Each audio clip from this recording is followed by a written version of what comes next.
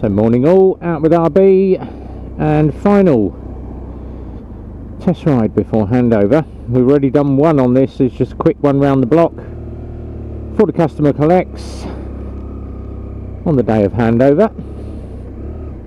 And I always like to test ride a bike before the customer comes and then it's back to the garage for a washdown ACF 50 and I'm going to wax all the panels on it make it nicely glossy shiny for the customer before he comes to get it. And uh, obviously I have said personal choice. I am not a lover of BMWs just a personal thing. Now obviously this is a slightly different one. It's not got a boxer engine in this. This is the upright engine in this one. And it's not a bad bit of kit but personal choice once again I'm not a big lover of BMWs it's just uh, they seem to be a bit of a snobby bike when it when it comes to actually uh, owning a BM you tend to find a lot of BMW riders do not give you the nod. And it's just a it's just an etiquette thing. Oh yours I've got a BMW it's a bit like Audi and uh, BMW owners look down on Ford owners. And you tend to get that with the bikes as well. And I've noticed it a bit. Now I was out Super Sausage on Sunday. Took the uh, the final run on the ZX7R yes she's up for sale. 3495 if you want her but there was a guy there with a GS and no, I do love the look of the GS, the 1250s. And the GS 1250 happens to be probably the number one most reliable, most economical and uh, most popular touring bike. Simple reason being, it doesn't go wrong. But when it does go wrong, God help you with all the spares and all the other bits on it. So hence, why I'm not a lover of BMWs. I tend to like cheap parts Mind the curb, mate. Mind the curb. But, as I say, personal choice. I'm not a huge lover of BMWs. But these do ride absolutely lovely. Heated grips on it and uh, all the functions are all great. It's got standard indicators. If you've seen some of the some of the BMWs have got left hand indicator on the left hand, right hand indicator, and then just above the right, you've got the cancel button. So you're all fingers and thumbs when you're going to indicate, and it only takes a knock of the thumb just to, and you've got your indicators on, especially the way you ride. So that was another thing I didn't like about the uh, the BMW uh, setup on the uh, controls. Personal choice again. Now obviously my my GTR after riding it for so many days now absolutely love that GTR it is comfortable I've not got no backache and I haven't with this because it's an upright bike I'm not crouched over the tank like I normally am. I'm not ending up with that uh, progressive backache that I've been having for the last couple of weeks. Although Sunday when I did take the ZX7 out I got home and I had cricked my neck being over the bike. And obviously I've got, I've got a sore right shoulder this morning. I've got uh, a pulled muscle in my neck. And that was just from riding that ZX now obviously on this because my head's up. Right I'm not sort of uh, over the tank like I normally am. So much better. So we're just going to take this one down the dual carriageway.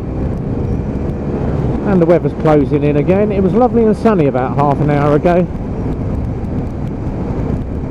So this one's just a quick run round the block, down the dual carriageway, job done, back to the garage. Final test ride, customer's coming. Make sure she's all good and give her a wash, wax and clean.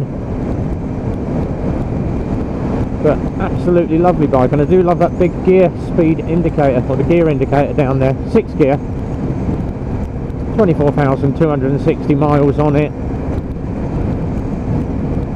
It needs some fuel in it, but uh, we tend to only run about five litres or less than that per bike simple reason being if it's been stood a while we don't like the fuel degrading so we tend to uh, run them till the uh, fuel light comes on and then just top them up with a couple of litres.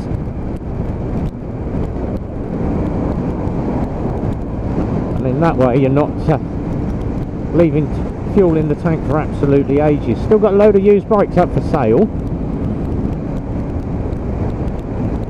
And thanks for all the comments on the channel. You may notice uh, if you happen to look at that Titan with the fuel issues, it's come back again. And yet I did a 20 minute ride, no issues whatsoever. Customer took it out, would not play ball with him. But we've sorted it. We found what it was. So part ordered. We're going to try a different part this time. Now with maintenance on bikes, and I am going to bang on about this and I'm going to keep banging on until it, someone actually takes notice. Servicing maintenance your regime. It's not just a thing like a car you just put fuel in it and uh, just keep driving the damn thing all the time. It is up to you to make sure that you maintain your bike. Keep it maintained. That is things like tyre pressures chain tension if it's got a chain making sure that your oil's the correct level. Have you got enough coolant in the bike if it's a water cooled engine? And just generally keeping the damn thing clean. Coat of ACF 50 give it a wash give it a clean give it a coat of ACF 50 a lot of people oh my bike rusts like crazy. Well is it in the garage? No I leave it outside all the time. Well anything is going to rot if you leave it exposed to the elements it's up to you to make sure you keep it washed, waxed, cleaned, looked after. My ZX sits at home and that is out in all weathers but it doesn't rot because it's covered in ACF 50 and it gets washed and cleaned every weekend even if I don't ride it. Other thing is servicing. Servicing schedule is in your handbook so stick to your servicing regime, 311 miles at 40 to 45 mile an hour. You're going to go ragging it to 60 in the first 311 miles, that engine is not going to last. You're going to get issues, you're going to have problems. Get the service done at 311, then you can do 50. That will take you to 932 miles. And then you have your second service. Once you've done that, then obviously you can open the bike up a little bit. Uh, someone said to me the other day, oh yes, but my Lexmoto Titan that I've got, I can get 69 mile an hour out of it. And I've just done the belt and rollers, it only does 55 now. Well, you shouldn't be running it at 69 mile an hour. Average speed of a Titan is around about 55 to 60. If you're pushing it that hard, you are straining the hell out the engine and that is the reason why your bike is playing up. Most bikes will get issues if they're absolutely ragged to win an inch of their life. Yes it's a 125 if you want more speed go and do an A1 A2 and get yourself a bigger bike. But your average 125 you should be sitting around about 55 60 mile an hour. It's a 125cc engine. All these people go oh yes but my 125 I've got this bike I've got this bike I can get 70 out of it or I can get 79 out of my bike. You shouldn't be doing 79. 79 mile an hour is above your speed limit, especially in the nationals. And obviously single carriageways and B roads, you shouldn't be doing no more than 60. So it's all down to how you ride a bike. And obviously I, I tend to ride bikes well within their limits, even customer bikes. My own bike, yes. I do tend to sort of push it a little bit. Where are we going? Doing 15 mile an hour.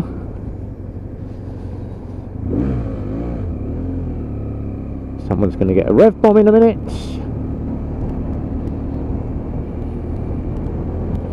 It just shows you since lockdown, people are just not paying attention to where they're going. Oh, we are getting an indicator now. Thank you very much.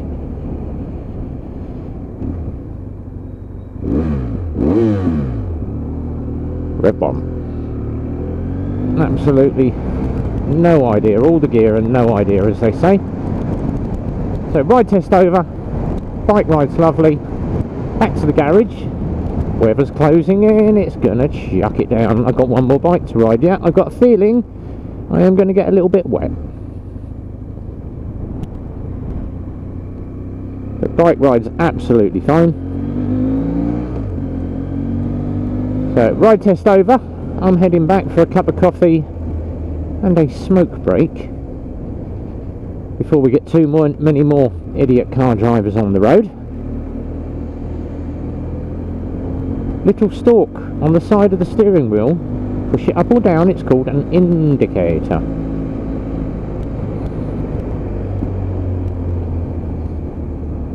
So, till the next one, guys.